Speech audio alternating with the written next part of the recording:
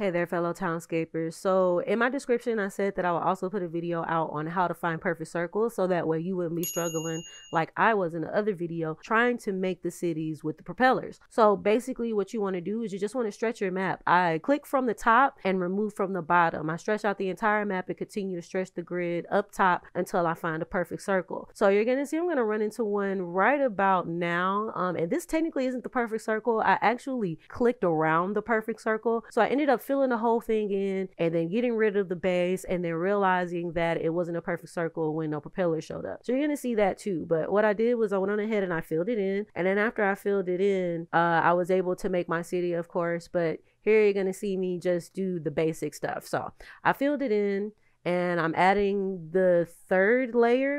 So what I'm doing is I'm just clicking at the bottom and you're going to see right here where it's, it's just not going to turn into a propeller. And if you see where that square edge is where I'm expanding it, that was the problem. So I had to remove all of that and shrink it in order to get the round base. So I shrank it up, I filled it in, got rid of the stuff on the edges, blah, blah, blah, blah, blah. And I was able to get propellers.